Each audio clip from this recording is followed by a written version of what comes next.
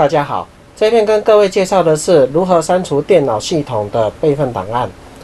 Windows 7安装升级完之后，都会留下一些安装程式的备份档案。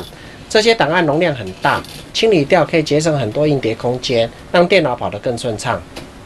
有些电脑优化软体也会有这些清理功能，但微软的磁碟清理设定这个程式就有这些功能，其实不太需要使用那些优化软体。请大家到影片下方的说明栏位，栏位里面有网址和密码。下载完之后，点选两下，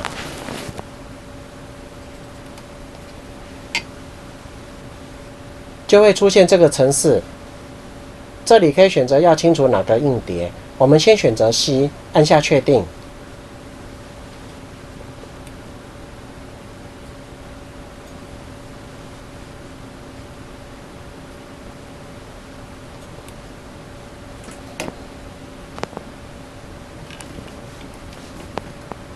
将里面所有的选项打勾，按下确定，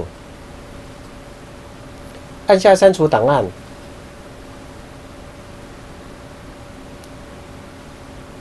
删除完之后，就会自动关闭程式。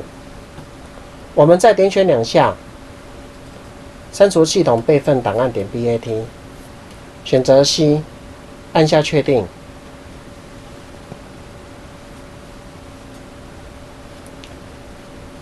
选择更多选项，在城市和功能的选项按下清理。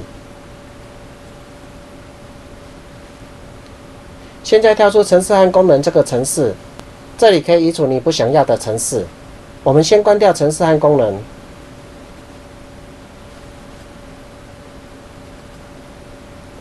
系统还原和阴影复制选项，这边可以删除以前的系统还原点，来减少占用硬碟空间。按下清理，按下删除。删除完之后就会自动关闭程式。